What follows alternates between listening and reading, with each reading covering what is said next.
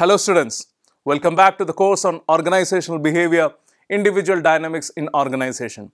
Today we move to the last lecture of the last module and in fact the last class of the entire course.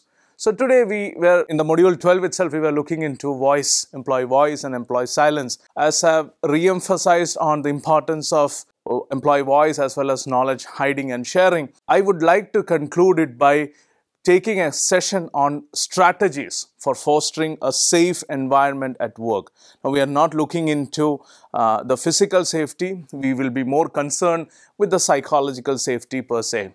I am Dr. Abraham Cyril Issac. I'm a faculty at the School of Business, Indian Institute of Technology, Guwahati.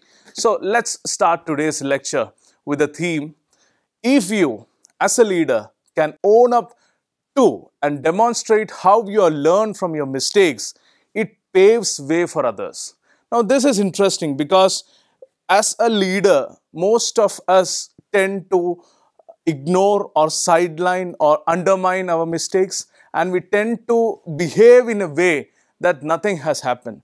But when we are looking into ourselves as a leader or when we are having a leadership, certain leadership position or certain authoritative position, we have to understand one thing that there are a lot of subordinates, there are a lot of individuals who are actually trying to model your behavior, your way of doing things, how you interact with people. So that actually makes you more responsible than how authoritative you are. So basically responsibility should be side effect of that authority that, that comes to you. But unfortunately many leaders today actually are not able to take that responsibility in their hand and they are not able to actually deliver it or at least become a role model for the individuals in their organization. So let's understand this safety. When we look into safety, we generally think of physiological or let's say physical safety.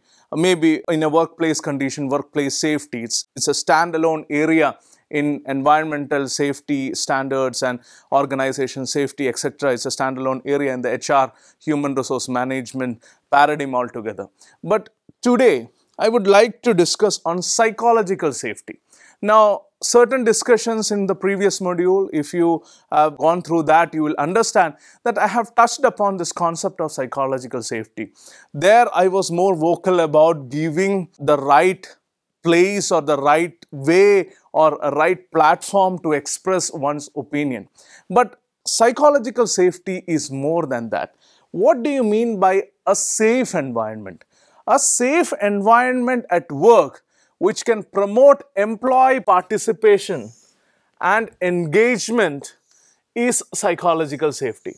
Now, when you are looking into psychological safety from a narrow viewpoint, we will see that the moment you have ability or you have a platform to raise your voice, then it is psychological safety or it qualifies as psychological safety. But more than just raising your voice, it is about promoting the employee participation employee participation as well as engagement. So recollect what we had discussed with respect to the engagement in the workplace. You might be an individual who has just joined the organization. You might be an individual who is new to the entire system. Maybe technologically you are, you know, naive or you are just uh, new to the entire setup. So there might be a certain bit of inhibition for you to ask somebody.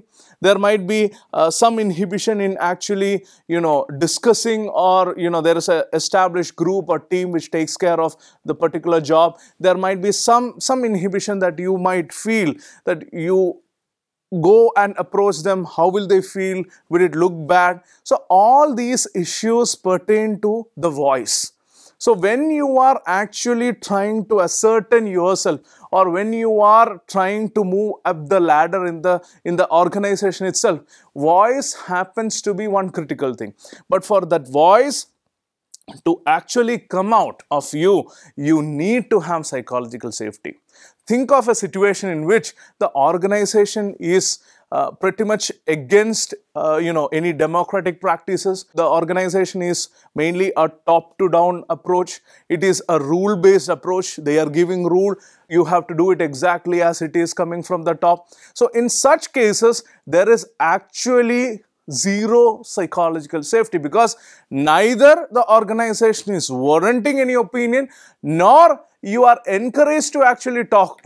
So it is neither there is extrinsic motivation nor there is intrinsic motivation because you understand that the moment you talk, the moment you raise a point, it might be valid, it might be the solution to the problem that the organization is facing, but still you will see that you hesitate. You don't have the courage to speak out because you have seen in previous cases, in previous experience that you know things have not gone according to what you thought or you were actually undermined or you were ridiculed or you will socially undermined. So all these aspects, all these counterproductive workplace behaviors which we have discussed categorically in module 11, you can or you must have observed in an organization when you have raised the voice. So that is what employee voice signifies. If you want to have or state your presence in the organization, it is a must that you should be in a position to raise your voice and you should actually be part of the decision making or at least articulate what you feel about a certain decision or a certain policy. So this safe environment hovers around the employee participation and moreover engagement. Let's say if you are detached from the particular job, uh, yourself feel that you don't have the, the technical acumen to do something, you don't have the expertise or uh, you know proficiency in doing the particular job, then there is a chance that you might disengage yourself. In such cases, even if some brilliant idea strikes, it is unfortunate, but it happens. It is a truth. Introspect within yourself. You tend to have a certain inhibition and you tend to retract yourself. You don't give or express your opinion or idea.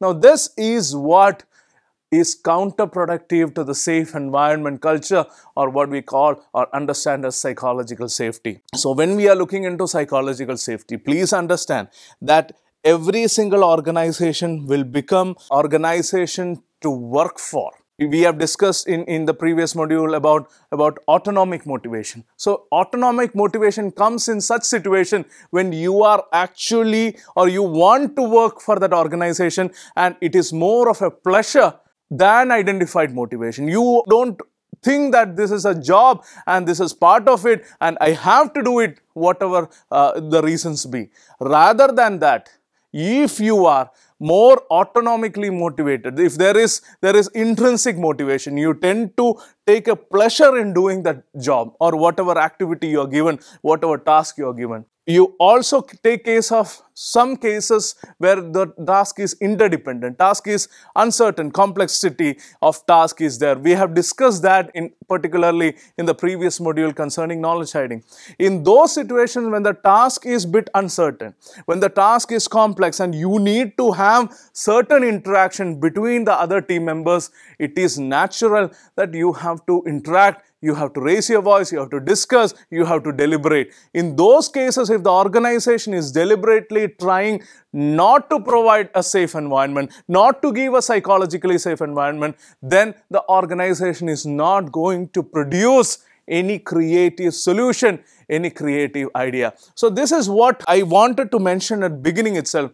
Psychological safety is a must. Psychological safety is essential for every single organization to thrive and perform and to have the competitive edge over, it over its competitors. Now when we look into a context that is psychologically safe in one where people feel they won't experience interpersonal harm so if I am in a situation where raising a voice or raising an opinion itself, there is a possibility that oh, uh, more than professional jealousy, there might be some interpersonal harm. It might not be uh, physical as uh, such, but there might be a possibility that uh, there might be some social undermining that may happen. There might be a possibility that some interpersonal harm like maybe your career progress in, within the organization is somewhat uh, stopped or ceased. So all these aspects may have the potential to cause interpersonal harm. So in all those situations, you cannot say that psychological safety is existing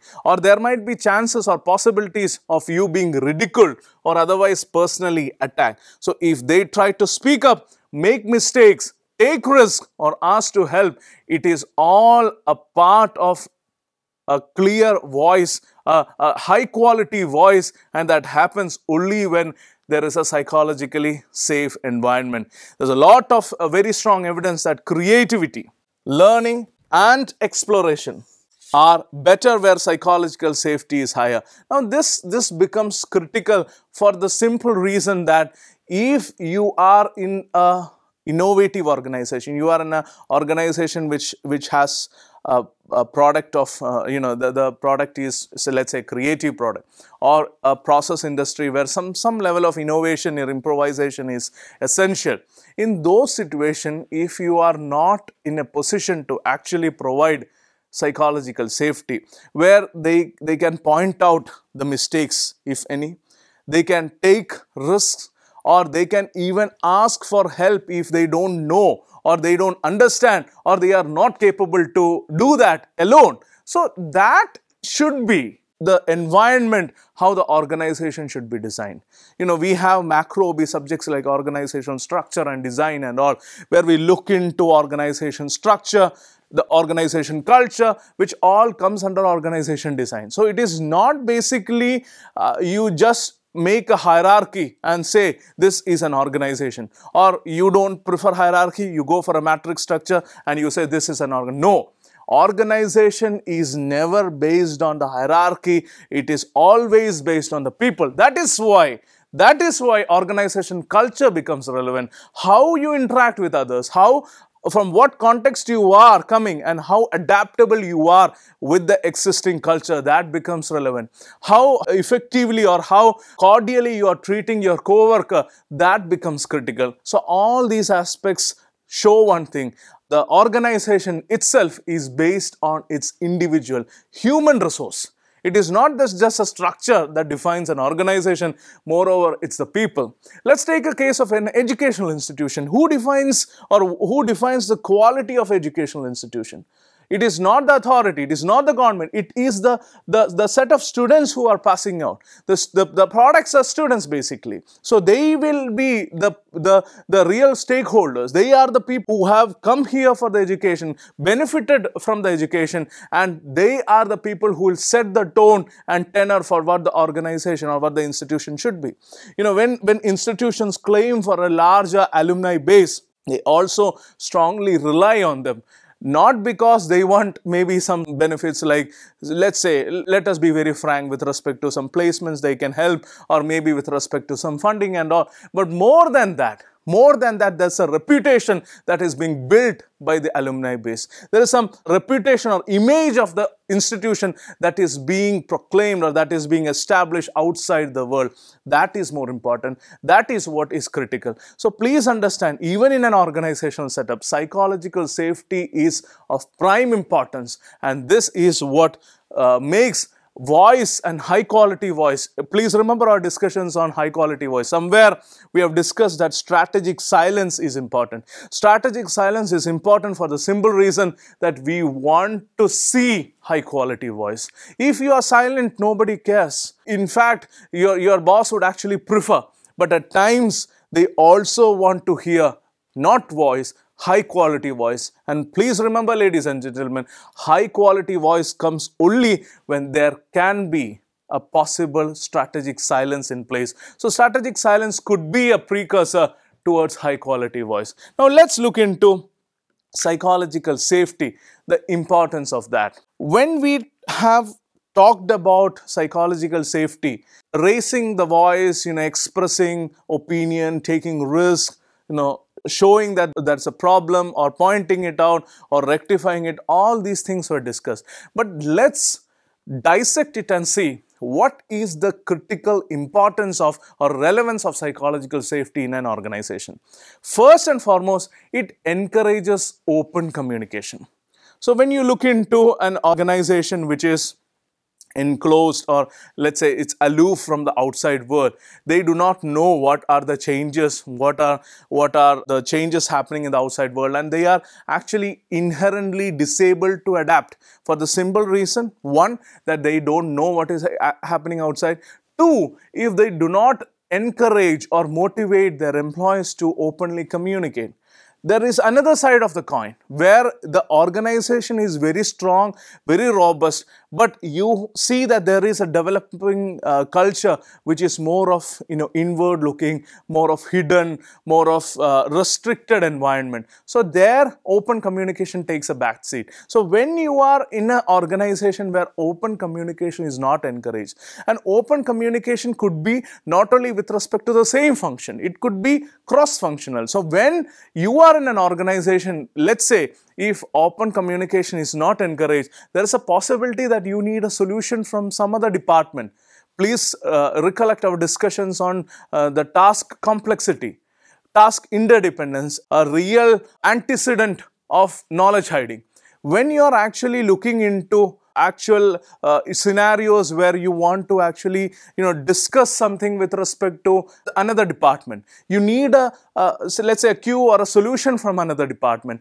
That should essentially come or that will essentially come only when there is open communication in the in the organization. Otherwise the organization is not going to be making changes in a dynamic fashion. It might go in the old fashioned way and ultimately it might not be in touch with the realities of the present world and ultimately it will perish. So, open communication has a clear relevance in terms of the organization psyche. Second most important aspect is it boosts employee engagement let's say uh, you as an individual within the organization you are disconnected from what is happening in your unit or in your department or let's say in your in your functional team then you might not even feel of going to the office or going to the workplace. Consider another situation where there is somebody who is really motivated because he is always engaged with his job. He is actively engaged with his job. He he loves his job. He he takes pleasure in doing that job so there is a possibility that if you have a psychological environment, you have a platform to discuss. If something is not happening according to what you feel or there is some, some lacunae or there is some issue that you feel should be addressed, you can always open up.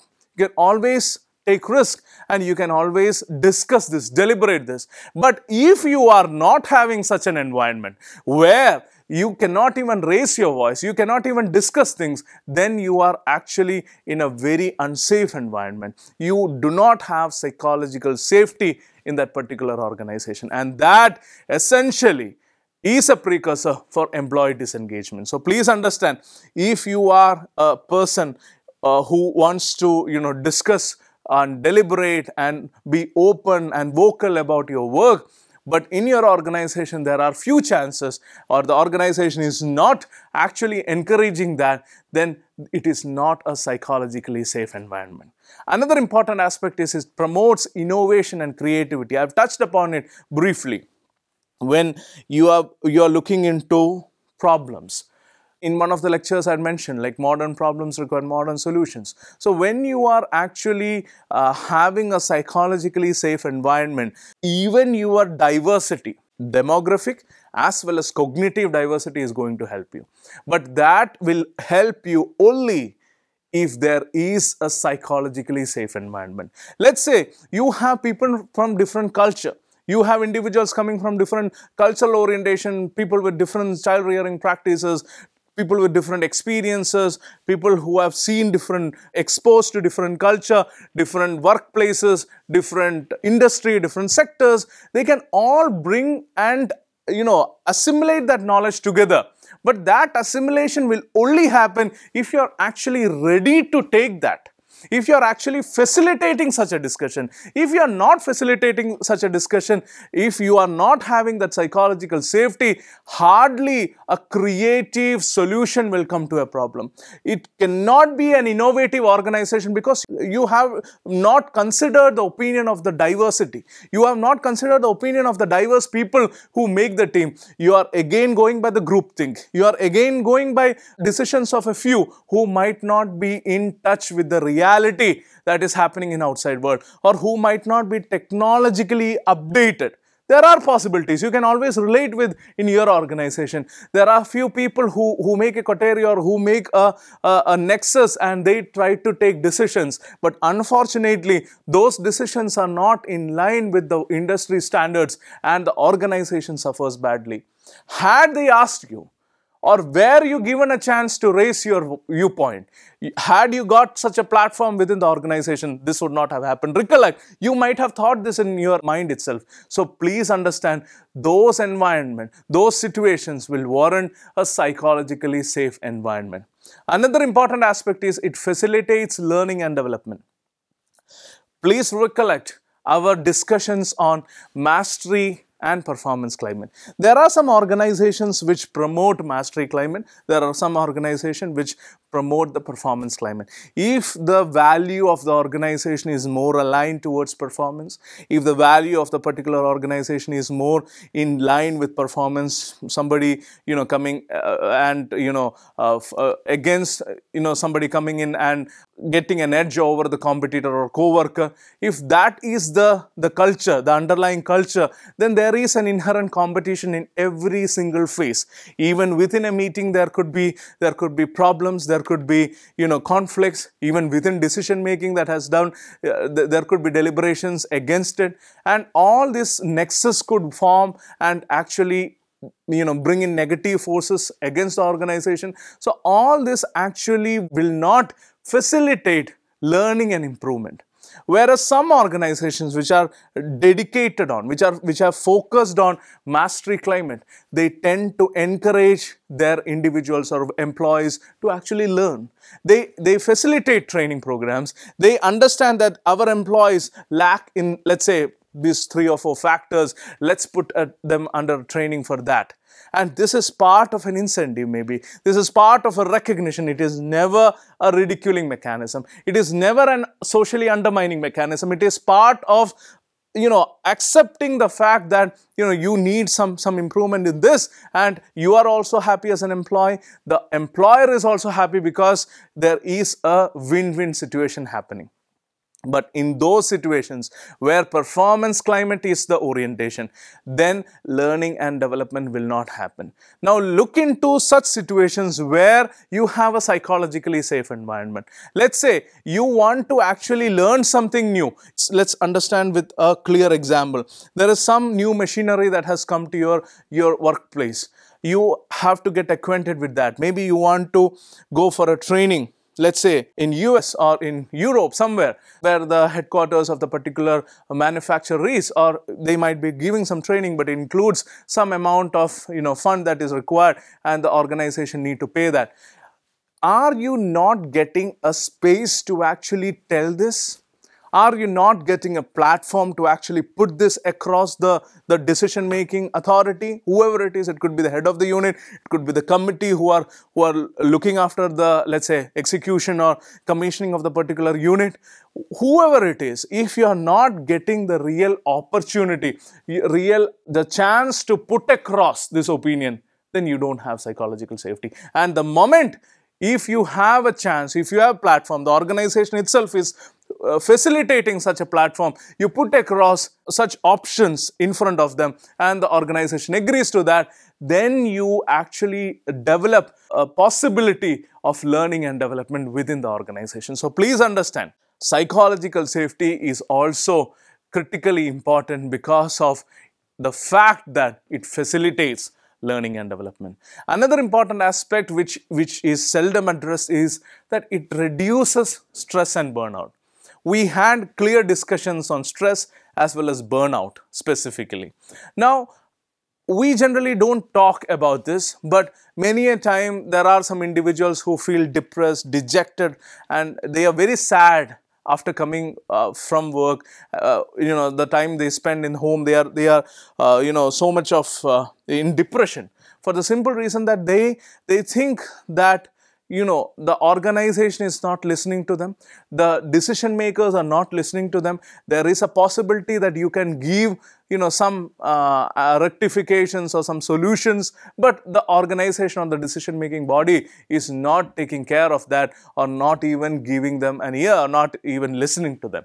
So such learned helplessness, such issues that uh, you know you are not being heard, even if you have a high quality voice, this will create stress and stress will ultimately lead to burnout. And the natural consequence is either it will take a physiological hit or you may have to leave the organization because you feel that you are not compatible to the organization. You do not belong there. There might be some inherent feeling that will develop like that. So please understand psychological safety has its own importance. It has its own importance from uh, the point of view of open communication, in terms of employee engagement, in terms of innovation and creativity, in terms of learning and development, and in even in terms of stress and burnout. Now let's look into fostering psychological safety. We have understood what psychological safety is and what is the importance, the relevance of psychological safety in an organization. Now let's understand what can foster psychological safety and that's the theme of our lecture today. Psychological safety as we have understood, I'll take this uh, idea from this source which is Harvard Business Review article and Amy Edmondson says that psychological safety is a climate that we co-create sometimes in mysterious ways. So basically what happens is that when you are, you know, uh, there as an individual, you tend to or you need the support from your co-workers because many a time it is evident that you cannot do the work alone. You need input from your friends, your co-workers, your subordinates, maybe your, your boss, your superior, etc. So all these aspects needs to come in. All these employees and their valuable opinion should come in. There should be a cohesion. There should be a amalgamation of idea which can only lead to a creative solution. When you are looking into why employee voices matter, it matters because it encourages individuals to overcome the instinct of silence. Many a time individuals are in the realm of silence. They don't know. They generally feel that okay nobody has asked me so I'm, I'm i'm just remaining silent. Had anybody asked me i would have definitely told. But unfortunately they remain silent and it is detrimental to the organization. There is no doubt about it. So it's crucial to establish an environment where their ideas are valued. The moment they feel that, you know, their ideas are encouraged, their ideas are valued, they feel uh, they get an understanding or they get a feeling that they should speak up because their ideas are valued. The moment they feel that they are they are belittled or they are actually socially undermined, they tend to remain silent. So clearly articulating the importance of the perspective and input reinforces the significance of their contribution. So sometimes the contributions might be very negligible, but sometimes the contributions might be in very large scale. But the thing is that if they are not recognized and supported, and appreciated even for small contributions, they may get neglected and they may feel dejected and there is all possibility that they might not go for the larger contributions and they might stay away from. They might refrain from actually raising voice or they might actually refrain from actually stating very good suggestions or solutions to the existing problems or increasing the level of contribution. So, emphasizing how it directly impacts the outcomes and success of collective work. So, collective work is critical and collective work as I mentioned comes through a cohesion of individuals working as a team, working as a single unit. So, by actively setting the stage for open communication. I have already underscored the relevance of open communication when it comes to psychological safety. So actively setting the stage for open communication, individuals are motivated to share their insights and enhance the overall collaborative process. So psychological safety is the precursor towards a collaboration, towards synergetic approach in organization, towards collective effort in an organization. You cannot advocate, you cannot preach or profess uh, collective effort and uh, you know synergistic approaches without providing an environment of psychological safety. Now let's look into uh, the fallibility. Please admit your own fallibility because to err is human. So from this point of view, if you look into uh, the fallibility angle, if you as a leader can own up, and this is our theme today, can own up to and demonstrate how you have learned from your mistakes. So many a times, leader, as an individual within an organization, you tend to hide your mistakes. You tend to ignore your mistakes. You tend to undermine or underplay your mistakes. But if you are in a position, if you are in an authoritative position and there are individuals looking up to you, then if you can own up your mistakes and demonstrate how you learned from your mistake, it generally paves the way for others. So it's important to model the behavior you want to see in your team and normalize vulnerability. Now this is critical. In the present day scenario, vulnerability is a common norm. But generally people tend to underplay it, tend to undermine it because they feel that the moment they are vulnerable, the others will be all over them. But unfortunately, that is a wrong understanding. You have to understand that being human, we all err, we all make errors, we all make mistakes.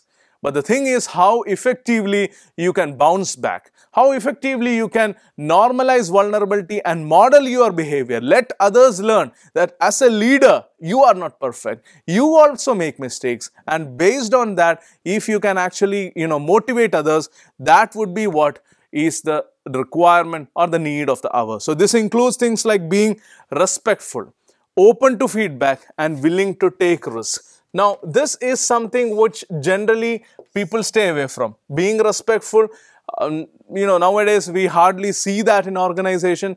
We are not open to feedback. It is like one-way channel we do and we are not going to listen to things because we don't think that we can make mistakes. So please admit your own fallibility. That will equip you a willingness or that will facilitate a willingness to take risk. Now let's look into how we can actively invite input because as I mentioned, feedback is an essential aspect in communication. So if you look into uh, all the sessions of communication, all the theories of communication, something which is very critical is the understanding of feedback loop. If the feedback is not given or not accepted, so either the party is not ready to give feedback or there is the receiver who is not ready to accept the feedback, in either of these cases, the communication channel breaks down. So ladies and gentlemen, please understand feedback is essential and how we can actively invite input becomes critical especially in the background of psychological safety. So don't assume people will tell you what they are thinking or that they understand that you want their input. So as, as it, you might not be in authoritative position. Let's say you are in a meeting within the organization, let's say it's a morning meeting, there's a team lead and there is some discussion that's going on. But unfortunately, there are some point that others want to raise. But unless and until they are asked, they won't tell. It is natural for them to just keep mum.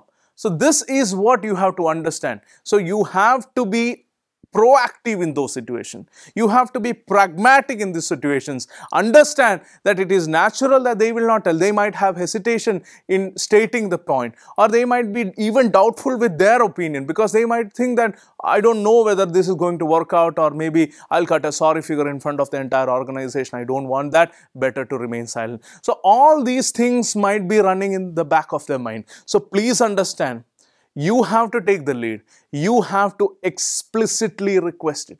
Please, team, tell us or tell me what we can do. So that explicit request makes things, you know, it breaks the ice. It makes things clear. It makes, brings clarity to the whole situation. You will be actually more enticed, you will be more happy to, you know, uh, tell those things or whatever ideas you are having or whatever suggestions you are having, your subordinates or co-workers might open up because you are explicitly seeking that. Unless and until you don't explicitly seek, perhaps they think that, okay, this guy does not need our suggestion or he is not even looking for our suggestions and why, why should we tell that? So please understand situations or how to foster psychological safety one of the critical reason is explicitly request others' ideas, others' suggestions. Let others also feel that they are having a say in the organization.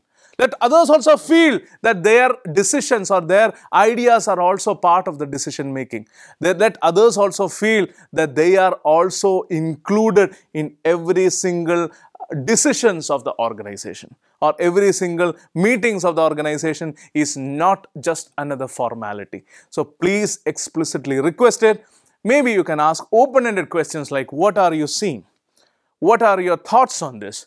Where do you stand on this particular idea? So there, there might be some initial hiccups. People might not open up. You act as a facilitator. You act as the leader. This is how the leadership emerges. This is how the leadership evolves. So you act as a leader. Ask them explicitly, what are your thoughts on this? How do you, uh, you know, want to do this? Or what would be your stand on this? Or what do you think that if I do like this, what would be counter strategy or what would happen against it. So all these inputs, they might have thought of it. You might get better ideas. No doubt, as an experienced person having seen the organization, you must have got some ideas of yourself. But that does not mean that other ideas might not be useful. You, they might have a better high quality voice than you because they must have seen that from a different angle altogether. You are too much carrying the recency effect maybe or you have the escalation of commitment. I have discussed everything, so that's why I'm just bombarding you with terms. So you might have the escalation of commitment. They don't have that baggage. They don't have any other baggage with respect to uh, uh, raising the opinion. Only thing is that you have to facilitate an open environment so that they talk, they react, and they communicate. Now respond productively. Now just explicitly requesting the feedback is not the only thing. It is only the first part. You have invited them, you have asked them, you have seeked their opinion. But please, once they respond, once they actually tell you or give you some suggestions or ideas, please respond in a productive manner. Don't be dismissive. Don't be uh, too much of uh, uh, autocratic. Don't be, uh, you know, uh, don't try to undermine them. Don't try to actually belittle them, uh, suggesting that your idea is, is a, a foolish idea or a stupid idea, something like that. So please respond in a productive manner. Productive manner is to respond in a sensible manner. So you can tell, you can basically tell people you want their input or it's okay to make mistakes but they won't do these things if they feel like they are being blamed or shut down. So this is basically the moment, let's say, uh, you know, th there could be a possibility that you are explicitly requesting and there is one person who is raising his or her voice, then suddenly you tell that, okay, uh, you, please, I'm not going to take your idea because last time you told something and it backfired. So that is a clear case of, a classical case of blaming. So please don't enter into blame games. Please don't shut them down. Please don't undermine them. Let them tell. Let them come up with ideas. When people speak up with a wacky idea or even tough feedback, how do you respond? That becomes critical. Be always appreciative and forward thinking. Bygones are bygones. You don't have to look into what has happened in the past. Be appreciative that the fact that they have talked, they have initiated the, the discussion, they have actually raised a valid point. Be a forward thinker. Replace blame with curiosity. If they might have some idea, respond productive in a productive manner. You can respond and ask them, okay, uh, if that is the case, then what could be the addendum? What could be the next phase of execution? Something like which actually underscores your curiosity. Rather than blaming them, be curious to the entire situation. So if you believe you already know what the other person is thinking, then you are not ready to have a conversation. Instead, adopt a learning mindset knowing you don't have all the facts. Now, this is particularly relevant in organization. Many a time we feel that individuals they tend to have a different opinion altogether when it comes to the decision making process. They feel that they know everything. They feel that they can understand everything and their decisions will be the best decision. Please do not live in such fool's paradise. You might be only one individual. There is a collective wisdom outside the boardroom. There's a collective wisdom within the organization which has seen the thick and thin of the organization. They know exactly what's happening in the organization right from the bottom to the top. So you might not get a clear picture if you're trying to uh, not involve them. So please understand, avoiding such decisions, such valuable suggestions would be a big mistake. So that would work against the psychological safety which otherwise you are trying to provide. So it's, is it all about being nice? Now let me start concluding this. I've talked vociferously, I've articulated in, in a very positive tone about, you know, about your voice and about the psychological safety. But does that mean it's all about being nice? I'll say creating a psychologically safe environment isn't about just being nice. It is not that you have to be a nice individual. No, it is much more than that. In fact, there are many polite workplaces that don't have psychological safety. Please remember, there are many workplaces such that because there's no candor. There is no absolute, you know, uh, honesty. There is no openness in those environments. They are all very polite. They are they are not very aggressive. There are workplaces which take you know things very silently in a very uh, meek manner, in a very silent manner. But there are no candor. There is no openness. There is no honesty, and people feel silenced by the enforced politeness. It is not aggression, it is not undermining, it is no force, no blaming, no ridiculing, nothing is happening, but excessive politeness, excessive enforced politeness. You feel that if I tell something, you know, they might feel bad. That level of politeness might set in. And again, it is doing the same thing if you remember. If you if you understand it, clearly it is doing the same purpose. It is, it is actually making you silent. It is forcing you to be silent. It is reducing the chances of your employee voice. So please understand, it is not about just being nice. Unfortunately, at work, nice is often synonymous with not being candid. So you are not in a position to actually tell because you have some barriers which are not visible but it exists. So within those barriers, you cannot actually express your ideas. You cannot actually express your viewpoint. You have a stunning, a brilliant idea, a brilliant solution to the problem that they, they, they have in the hand. But the problem is that you feel that whether you might be, you know, uh, misunderstood or misinterpreted or maybe the raising the voice itself would sound impolite. So all these aspects pertain to uh, or actually show us one thing that it's all about not being just nice. So when you are looking into psychological safety, there are certain common misconceptions associated. You must feel comfortable in a psychologically safe environment. But that said, when you are looking into many individuals, they mistakenly believe that maintaining psychological safety requires constant comfort thinking they must avoid saying anything that might make others uneasy. Something which we are discussing uh, just now when we are looking into the excessive politeness. Excessive politeness, there is no candor. It makes the life uneasy. You have to say something, you have in your mind to say something, but unfortunately, you do not have the environment to say that. So that's simply not true. Learning and messing up and pointing out mistakes is usually uncomfortable. So being vulnerable will feel risky. The key is to take risk in such safe environment. So one without negative interpersonal consequences.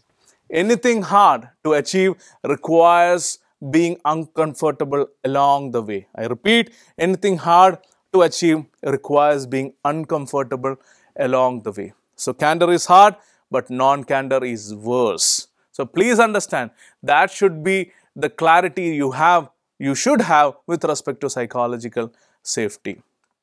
So that completes the entire course. I hope a very good journey of organizational behavior. Now, before concluding, I just want to quickly check on what we did. Quick recap of what we did in the entire 12 weeks in the entire 30 hours, we have taken 60 sessions. Let's look back and understand what we have learned. We have traveled across 12 modules. The first module was to introduce you to organizational behavior. We looked into understanding organizational behavior where we traced into the evolution 1 and 2. Then we moved to the individual in the organization. We understood the relevance of the individual within the organization. Though we had established what organization is, what organizational behavior management is, in the first two lectures, we had categorically summarized the importance of individual in the organization as the building block within the organization. Then within the first module, we moved to understanding, acknowledging and appreciating what individual differences are. So we took two lectures specifically on understanding and appreciating what individual differences are. Please remember, it takes all types of people to make the world. So we need to have a clear understanding of the individual differences.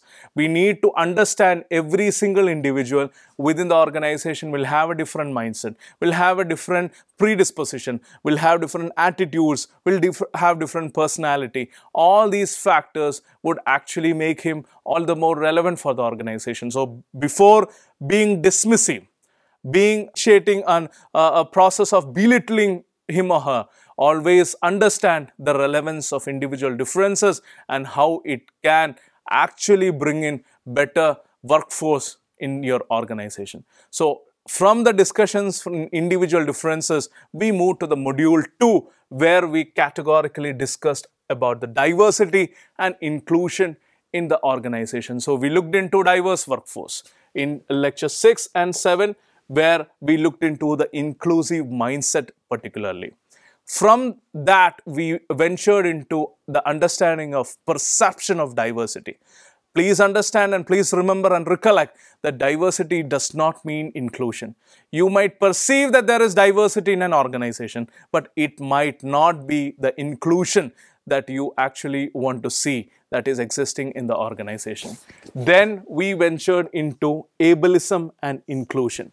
Please understand one thing that a physically challenged person or a, a physically able, differently able person is not made physically challenged or not made physically disabled by, by let's say a wheelchair or such equipments. It is the lack of proper facilities given to him, lack of ramps given to him, lack of proper pathways given to him or her that makes him, uh, uh, you know, differently abled. So please understand, we understood this in ableism and inclusion. And finally, we looked into ways of how we can manage diversity. We looked into some of the strategic factors and some of the strategies that organizations incorporate for diversity management. So it should not be a peripheral diversity. It should not be only the demographic diversity, it should be also the cognitive diversity that we should look into.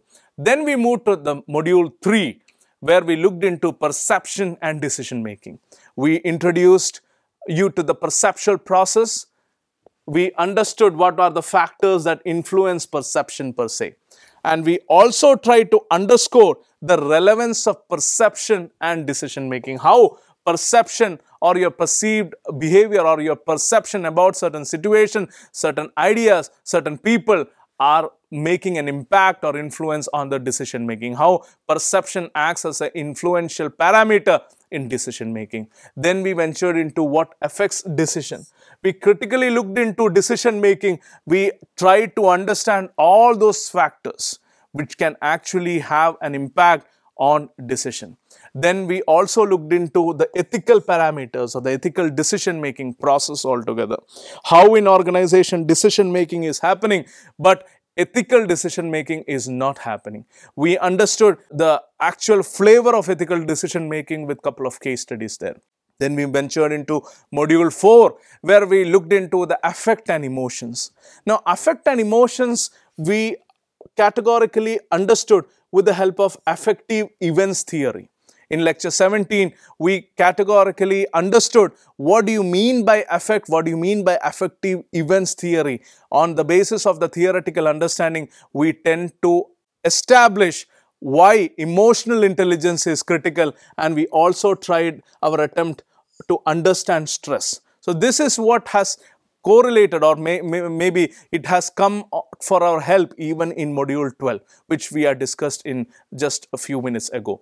So when we are looking into affect and emotions we concluded the module with emotions and moods. We tend to differentiate between emotions and moods. We try to understand the applications of emotions and moods. So don't be uh, hesitant in using emotions and moods. You can use your emotions and moods for the benefit or to excel within the organization and we have discussed some tips regarding that too in module 4. In module 5 specifically we ventured into personality. We looked into what self is and we tried to understand what personality means. We also understood in lecture 22 what types and theories of personality are. We looked into uh, almost all the theories, trait theories, and we almost looked into even other social theories as well. So, we tried to understand how do different inventories work, how measuring personality is significant and how we can actually measure personality. We looked into various tests and personality based inventories in module 5 lecture 23. In lecture 24, we ventured into personality traits which are relevant to the organization. We looked into certain traits which make some individuals successful, some individuals a failure. What could be the reason? We ventured into, if you, if you look into, if you recollect, we had looked into different theories, including Big Five. We understood what is the relevance of openness, conscientiousness, extraversion, agreeableness, neuroticism, etc. We also looked into other trait theories and how certain personality traits are relevant to organization. Finally, we looked into, in the last lecture of the module 5, that is lecture number 25, we looked into how we can assess personality. It is not about measuring personality, but assessing personality and specifically underscoring the caveats and concerns with respect to the assessment of personality. So, that concluded the module 5. In module 6, we looked into work values at workplace. So, the lecture number 26 was more on understanding values, the importance, the relevance of values in workplace. Lecture number 27 was all about sources and types of values. We tried to unders underscore what are the different types of values specifically.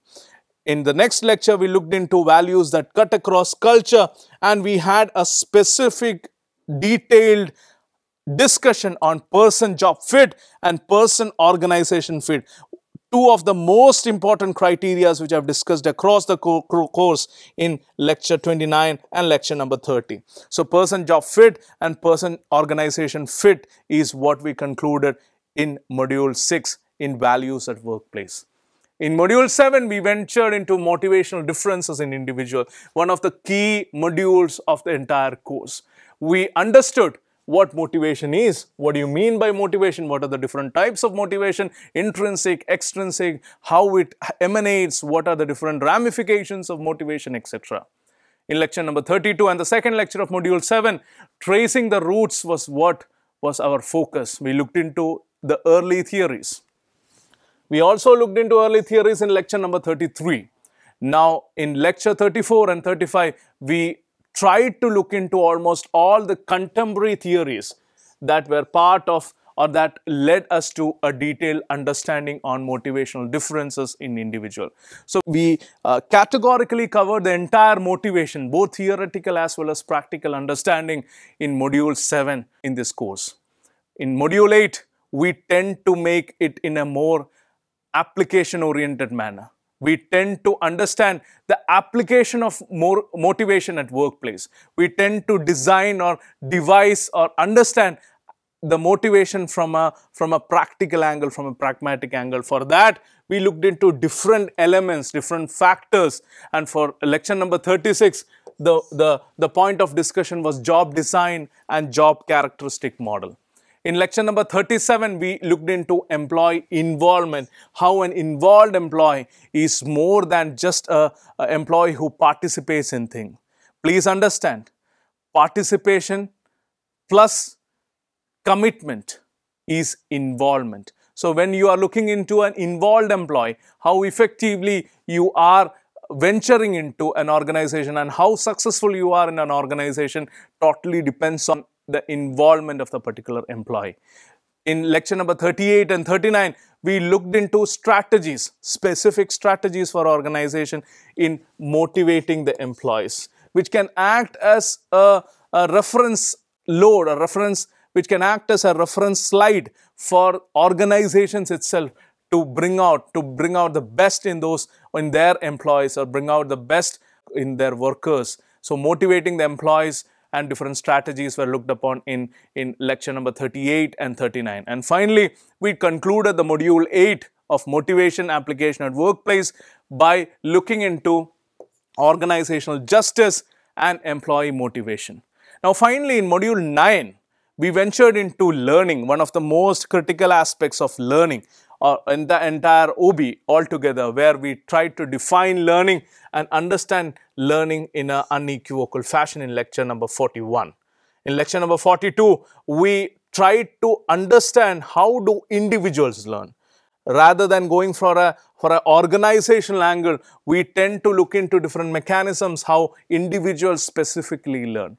In lecture number 43 and 44 we looked into the theories of learning all the theories almost all the theories of learning were covered in lecture number 43 and 44 in lecture number 45 we looked or we took the learning into a practical point of view. Again, if you see that has been the, the entire scheme of things. As the modules progress, the last one or two lectures would be more practically oriented. So, following the trend in lecture number 45, which was the last lecture of module 9, we looked into learning in an organizational setting. So rather than just beating around learning and how individuals learn or the theories of learning, we tend to become pragmatic. We try to become pragmatic. We try to bring in learning in an organizational setting with lecture number 45. Then we move to module 10 and lecture number 46 Module 10 was all about creativity, psychological capital and mindfulness. So, we started with the module with lecture number 46, understanding creativity. We distinguished creativity with other behaviors which are usually misunderstood with that. We tried to bring in the different factors or understand those factors which actually are relevant in creativity and how creativity is vital in organization. Lecture number 47 discussed on the stages of individual creativity. Every single individual might be creative, but there are some stages which are forgotten, which are not taken into consideration. In lecture number 48, we looked into a specific topic of creativity and problem solving. So, we had looked into different cases also in most of the modules and creativity and problem solving had been a vital creativity and problem solving becomes one of the most critical lecture within the module 10. Then we ventured into lecture number 49 where we tried to define psychological capital. Psychological capital was defined and understood clearly when we ventured into lecture. Then we ventured into lecture number 50 using psychological capital we tried to understand what exactly do you get from mindfulness and what do you get from the creativity and psychological capital.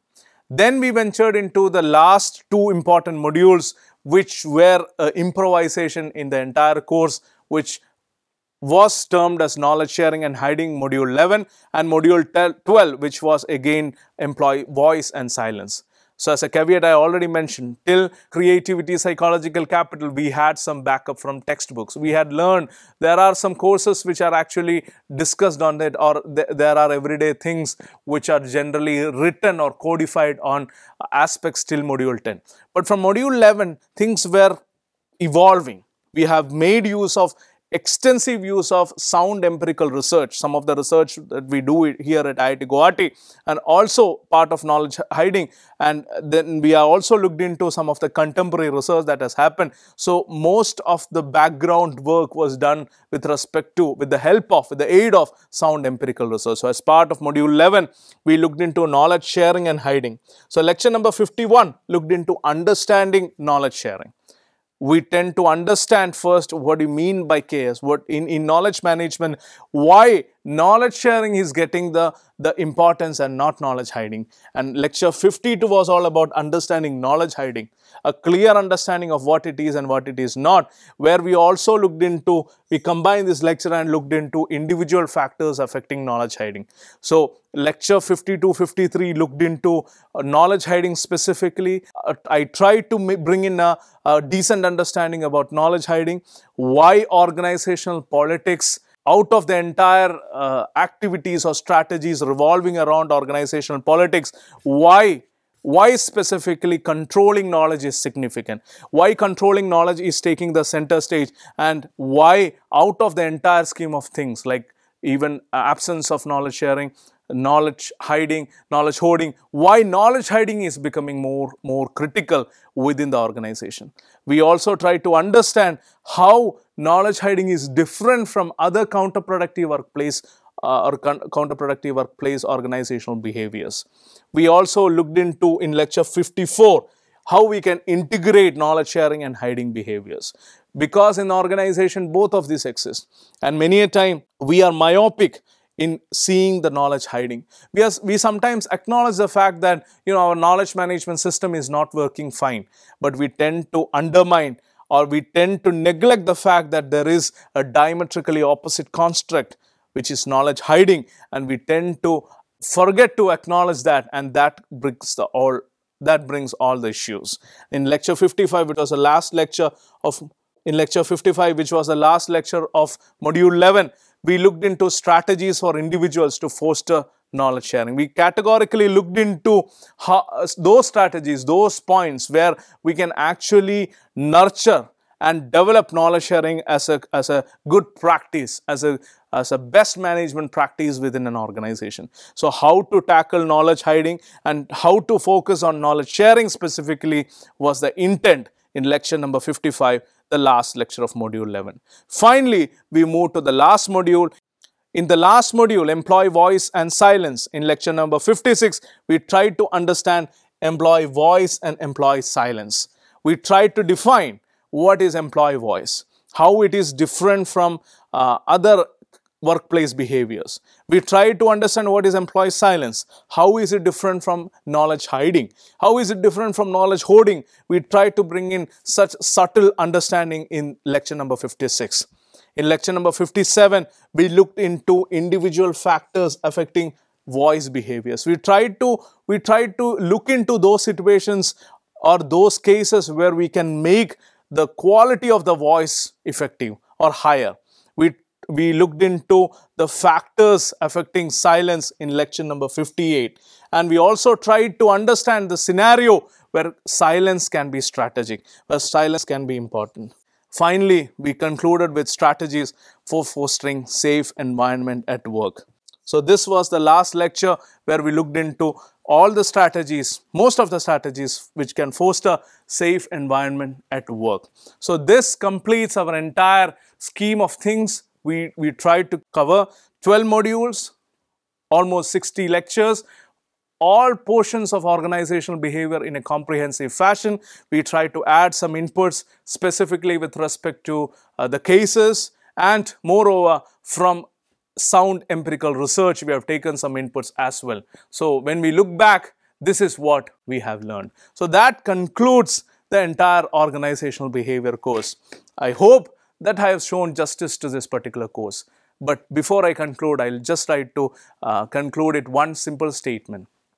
How we are is defined by basically how we perform in an organization.